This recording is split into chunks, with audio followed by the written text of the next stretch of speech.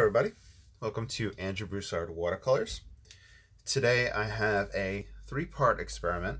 Uh, in this one, my friend Matthew Clemons, one of the administrators over on Ron Ranson Disciples, the Facebook page where we're dedicated to the fast and loose large hake brush painting, had sent me a picture of the Sahara dust. I think this is either from his backyard or when he was out kayaking. Let me see if that shows up. Well, yeah, it should show up good enough. Anyway, so I've been looking at it and I thought, why not do this as an experiment with three different toned papers? So here I have Bockingford tinted watercolor, Bockingford tinted watercolor paper, and Stonehenge aqua paper. This is 100% alpha cellulose, alpha cellulose cotton. Um, I will point out, since I, I fold and I tear my paper, I do have a little bit of difficulty tearing this paper. But if these wind up being matted or anything like that, that would be hidden. So this is either the oatmeal or the cream. Um, this is just the blue and then just Stonehenge Aqua white. So I figured go through these and paint these scenes using the different um, paint paper and seeing the different results. Now what we have to keep in mind is that I'll be painting the scene over three times. So there's going to be variations in energy level. There's going to be variations in um, application. Um, things that I see beforehand, things that I don't catch at first. So you're going to keep that in mind whenever we see like the final results of all three. And I'm going to break it down into three videos. By the way, I'm live streaming this. So, um, being that I'm live streaming it, there might be some like side conversation with um, people that are coming into the live chat. So we're going to start with this quarter sheet of Stonehenge. By the way, oh yeah, so I'm live streaming it and I'm going to stop the video once I'm done with the, the one paper painting. And then um, from there, I will uh, then start another video. So I'll have three separate live streams and three separate uploaded videos. There might have to be a fourth one with a comparison of the three results. Hopefully the results come out good.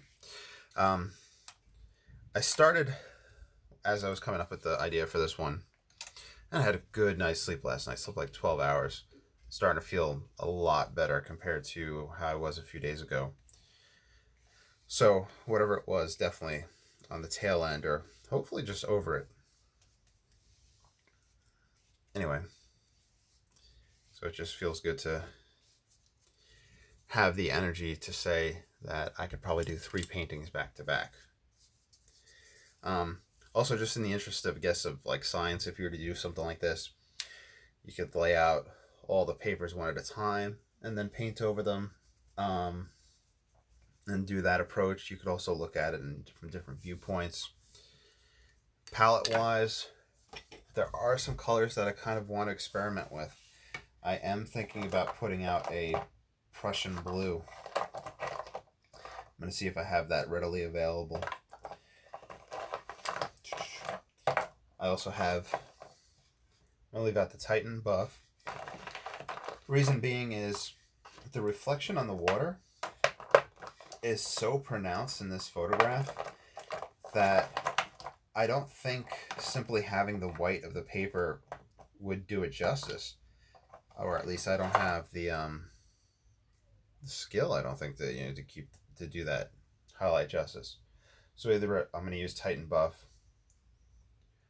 or um, you know something else. I was even thinking gouache, but I'll probably stay away from that. Just for posterities, but we'll see. I also have Naples Yellow Red out. That might be fun too. Anyway, without further ado, let's just get started. In fact, the reason I'm thinking a little bit of Prussian blue is just that horizon. Oh, I think I was also mentioning that I've been looking around online prior to this, and obviously this scene is very reminiscent of J.M.W. Turner paintings as well as um, who's the other one? Uh, Monet's sunset paintings, the Impressionist, very um, you know, reminiscent of that. This is Prussian blue. This is a different start for me. I think I'll probably do my wet and wet and then do that wash over it that I've been doing with the raw sienna to get that effect.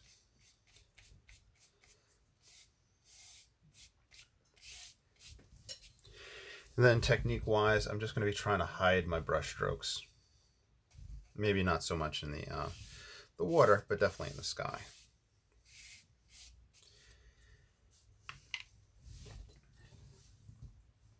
I had also debated taking masking tape, cutting it into the circle, and utilizing that as a way to preserve the white from the sun.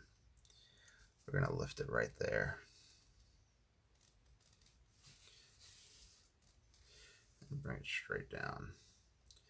I'm just lifting that water now.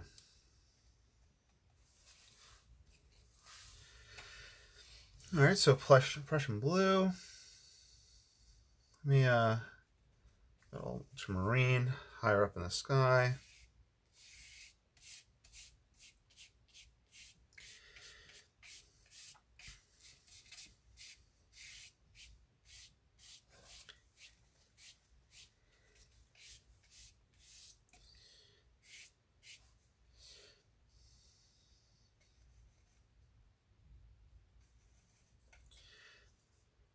This could be the the background, the horizon line right in here, kind of right in the middle, unfortunately. But we'll play around with it. This is that Prussian blue.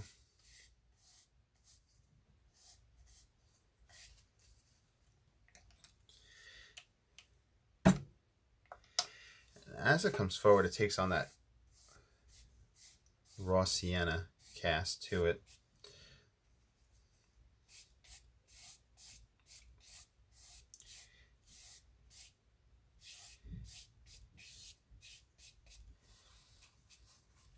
So the little lifts, I don't know if it's showing up well, is showing up a little bit.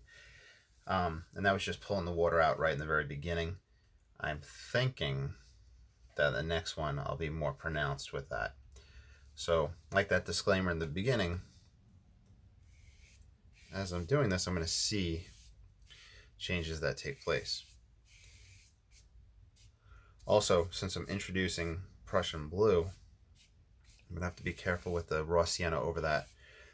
Raw sienna and Prussian blue, I believe, do take on a greenish tint, while the ultramarine and raw sienna is more often a um, just a muted like uh, earth tone.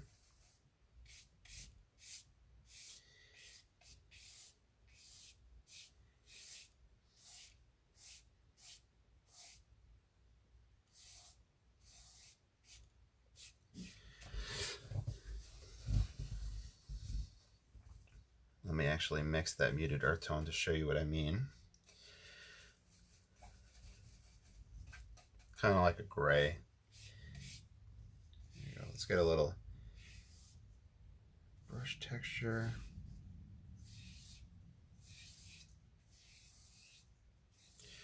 Okay, so remember this is the Stonehenge Aqua paper. There is land masses. Um, I'm going to look at the reflections for those.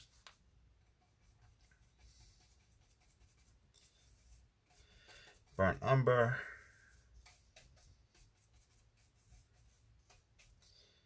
With ultramarine.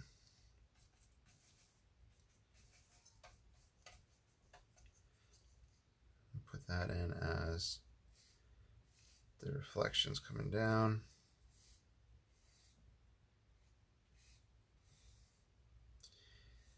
Oh, I often, like I said, I put the reflections in first because of that wet and wet. I like to take advantage of that opportunity.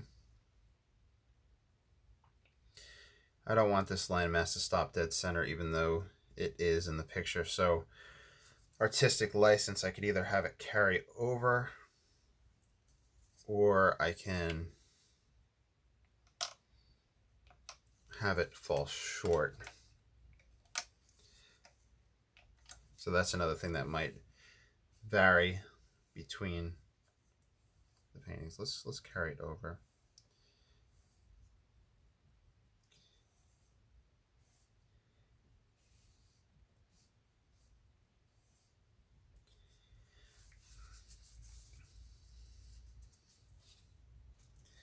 Lift. Like I said, the, the lifting isn't going to really do it much justice if I paint it super light.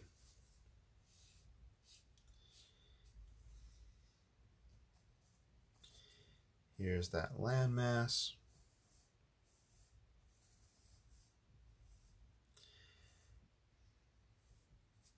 And I'm going to go wet and wet with it. There's also this background landmass, which I want to go more blue side.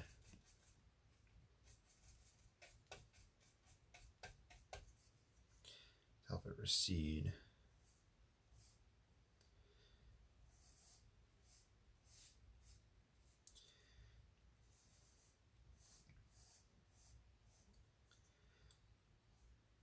This guy, in fact,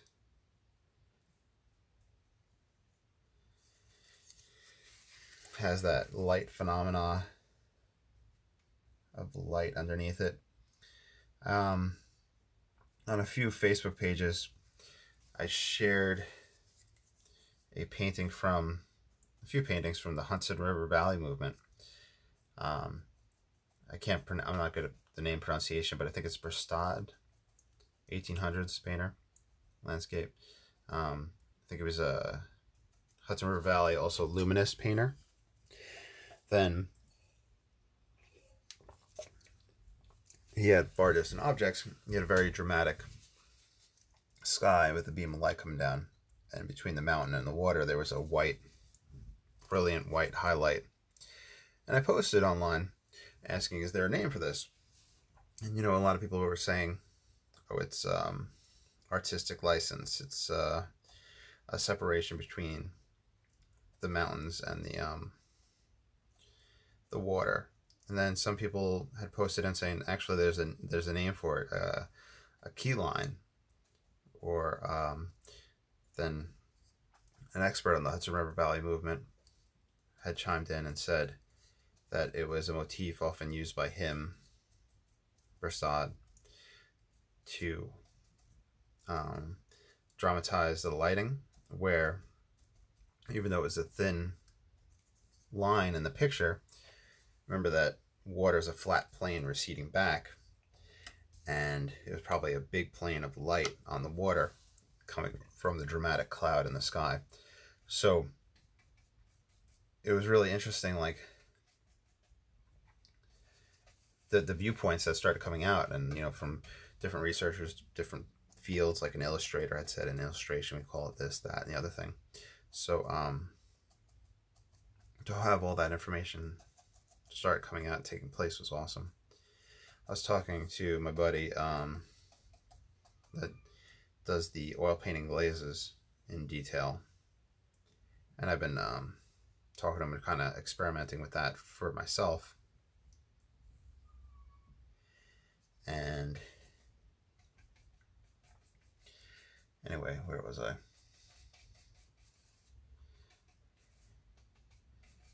Um, talk about that. Just letting little dry brushes for this reflection come down. Then I'm going to dry brush, I think a little bit of water texture, but I want to get this darker. Yeah, we were just talking about like, you know, different motifs, different art styles. Um, they were talking about how a lot of knowledge is just lost. Like, you know, some people say, you know, like the uh, techniques of the Luminists, you know, is that information lost or not? Or the techniques of glazing and whatnot, is that still out there? Use a little bit Payne's Gray. So I want to darken this guy up.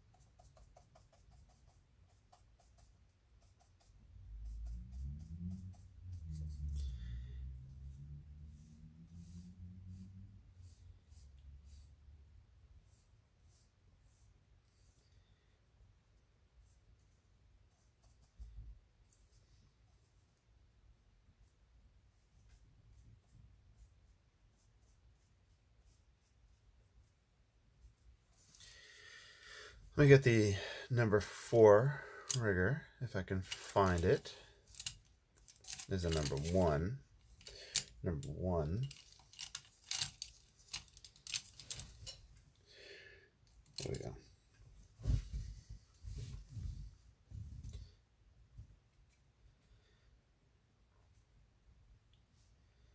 A little bit of a shoreline. A little too much water.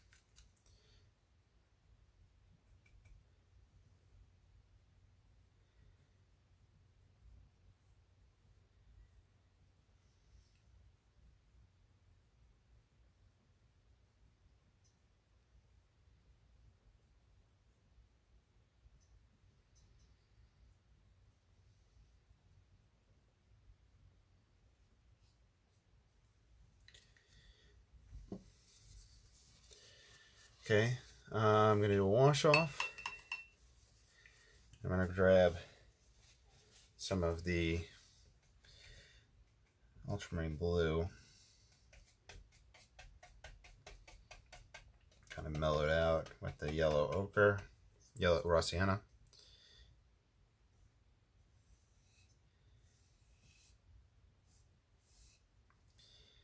I'm going to tilt this on an angle so that it's less dry brush distance between it at that far distance because there's more of an overlap. And then as it comes closer, those ripples occur more. Then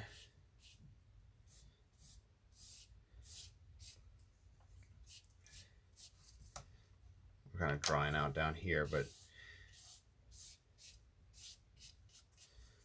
I'm going to do that wash over everything of that raw sienna.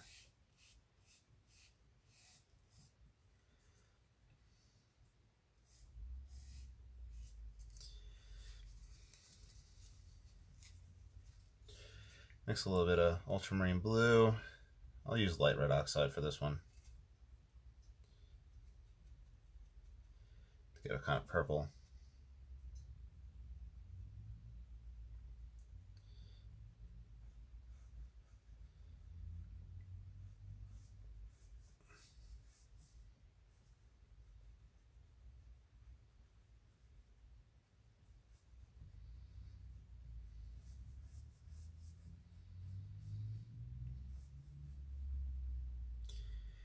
little bit of variation.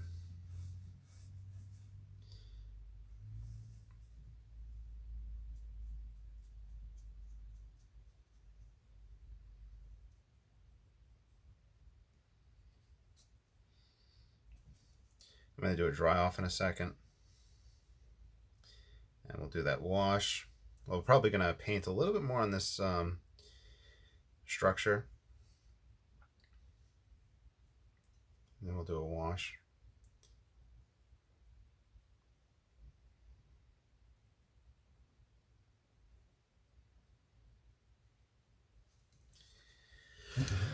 Okay.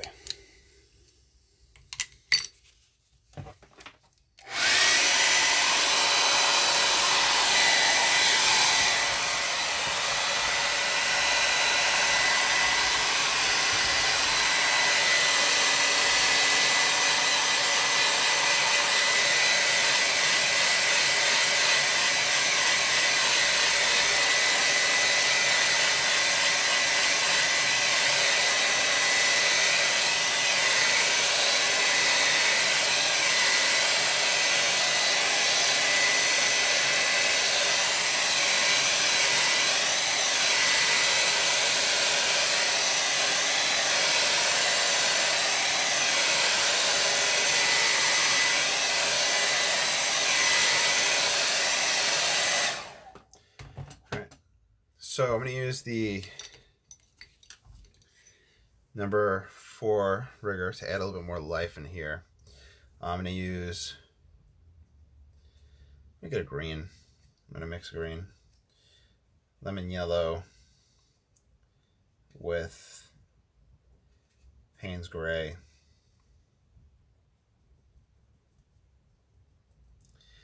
I'm just going to kind of dot it in.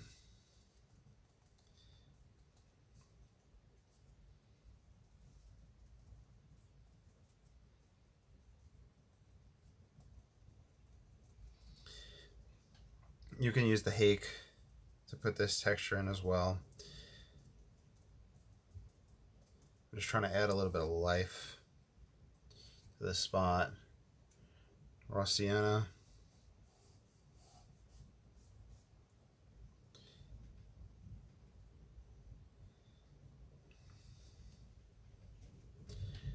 Um, let's do ultramarine and lemon yellow just to get some different greens happening.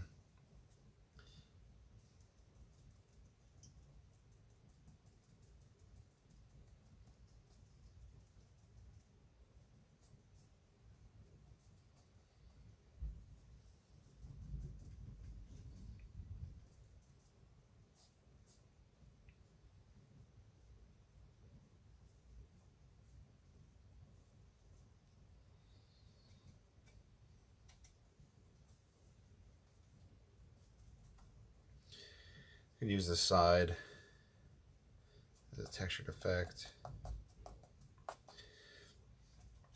Throw some burnt sienna in there.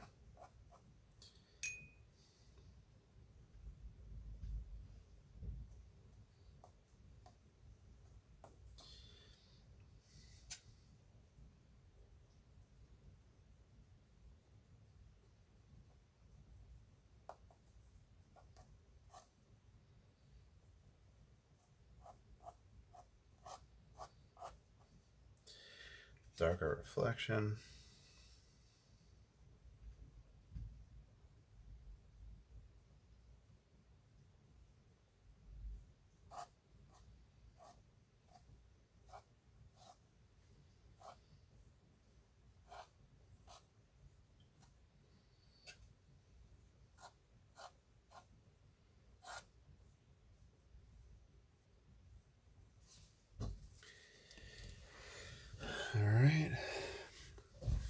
could flick the number one rigger. If I could find that. For just a little bit of trunks and action. Just making up texture in here. Like staring very closely at this picture, there are like little bushes and whatnot. But I'm not going to try to get it perfect or anything like that. This is just arbitrary artistic license just to give effects. And then when we dry off, if we're happy with this, we will then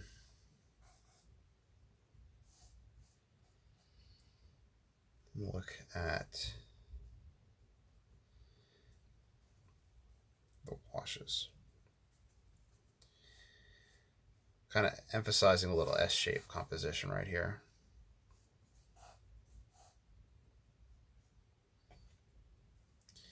Feed some darks into this wet and wet.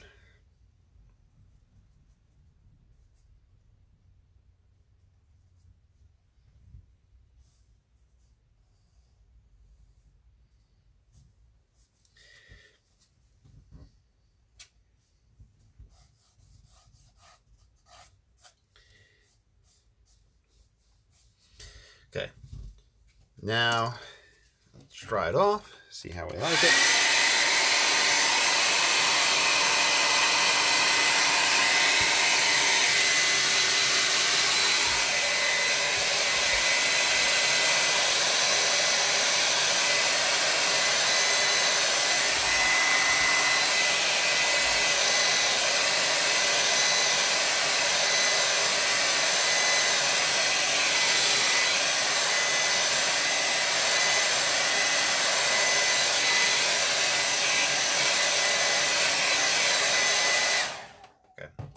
So the thing to keep in mind is that Sahara dust that's coming in is putting a haze over everything. In this case, I'm going to use that raw sienna that I've been playing with for that kind of wash. Let me make sure everything is nice and dry for this.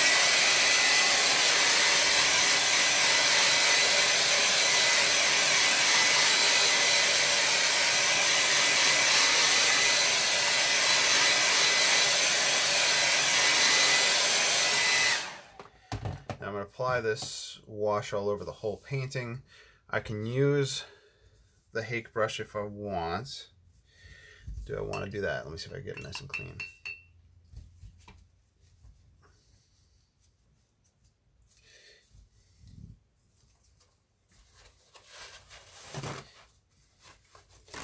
The paper towel.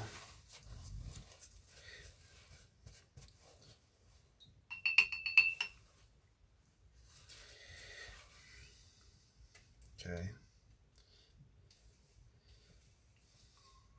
Raw sienna. You know, there is pinks in this painting as well. Um, maybe we'll play around with that, but let's see. Okay, so here's that raw sienna wash. Lift out the sun.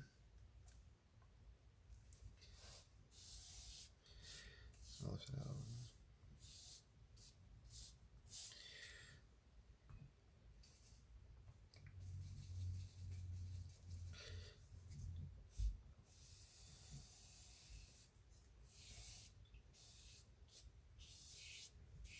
I really don't want any brush strokes to show through on this. We're going to pass it over that, yeah.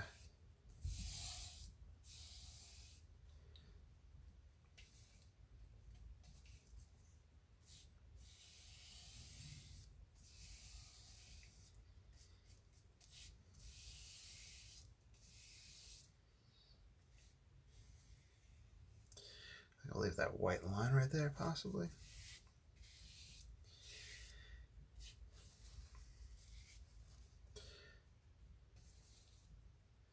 Build up little concentrations of variation. Oh man, this is so much fun. Y'all gotta try this. Just painting and then just doing a whole wash over it. Whole glaze essentially. And letting that whole feel change. Oh wow.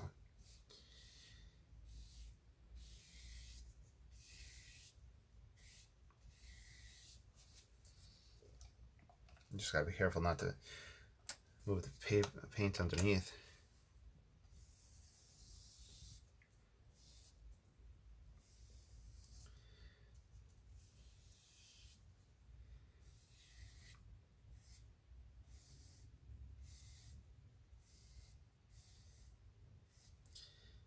Let's pass over this landmass.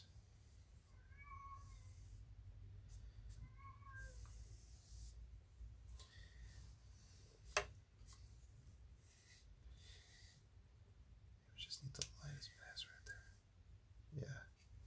I don't know why I'm whispering. It seems so delicate and fun. Okay. Let me set this right here. Let me now bring out that sun.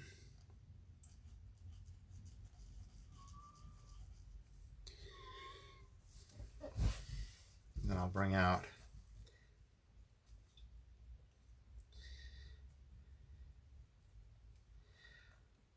think I will use Buff Titan right there. Titan Buff.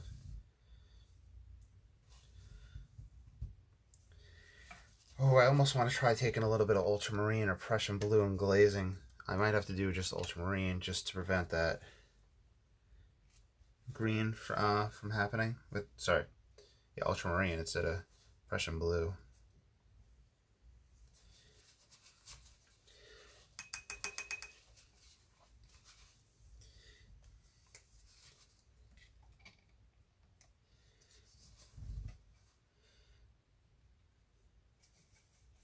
Here's a little bit ultramarine just as an experiment.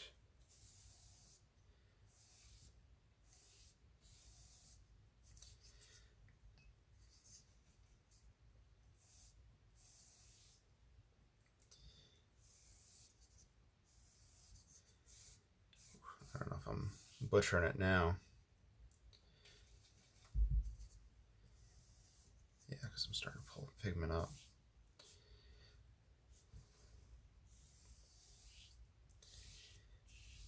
Okay, well, we learned a lesson on this one.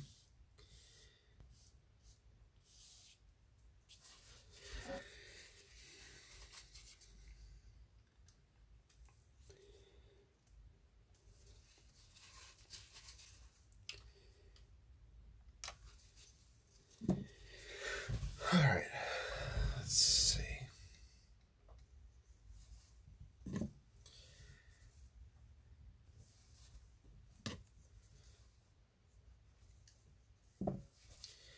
A dry off.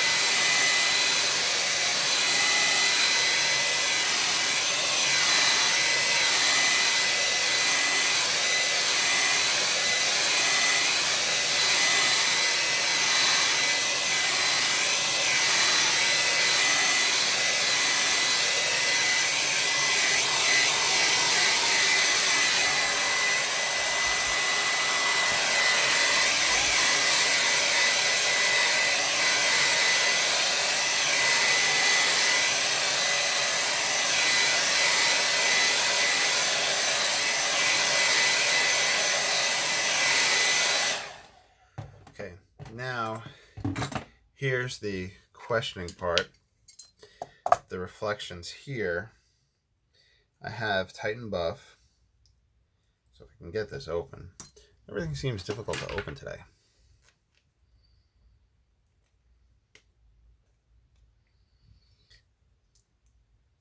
Really?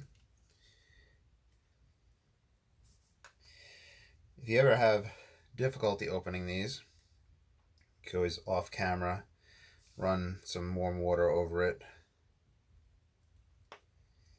and use that. It seems like that's what I'm gonna have to do with this one. I think I do have a little bit here that I can reconstitute. It's not, oh, of course I'm gonna have black on there.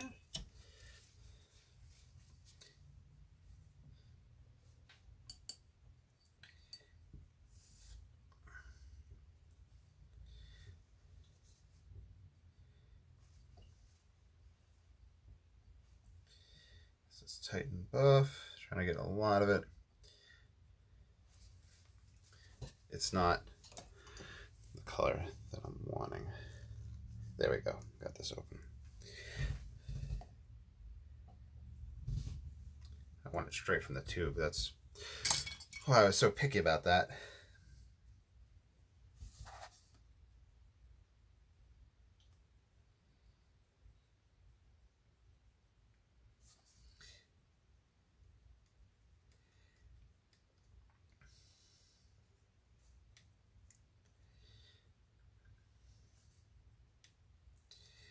Might mix a little bit of yellow on this. Here's the raw sienna.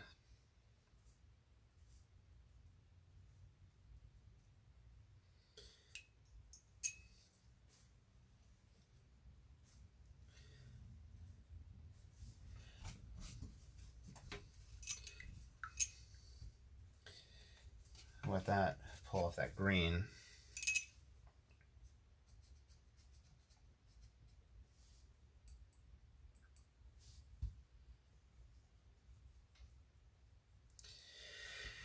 It's not popping the way I want. So I'm going to have to move over to gouache. So I'm going to lift these guys up.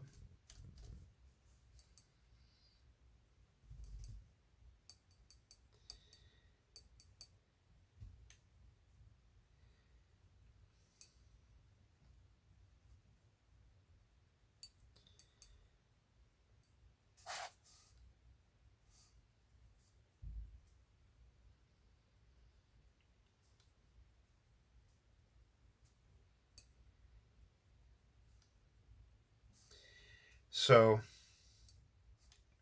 looking at this in retrospect, so I'm going to talk about this one while I'm just trying to build up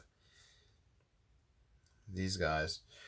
In retrospect, I wanted it, I should have had a darker greenish hue right here, and I think that would have helped this pop out a little bit more. Here's a little lemon yellow with that. That might be what we need.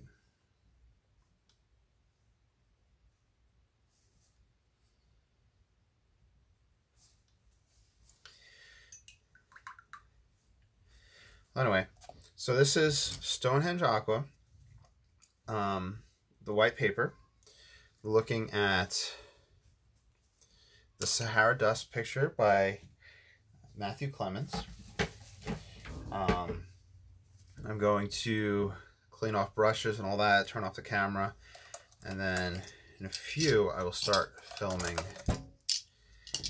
the um, the second one on different colored paper, on tone paper. All right, so let me just dry it off, put a mat, sign it.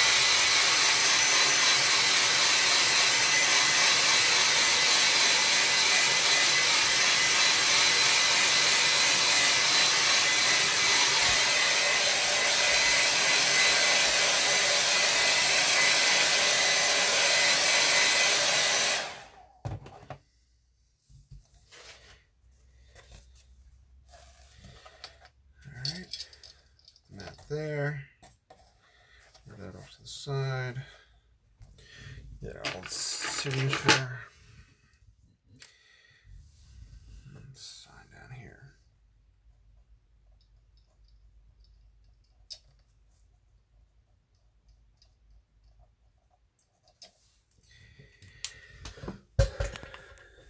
So there you go. That's the first one of this series. Hope you enjoyed, and I'll see you soon.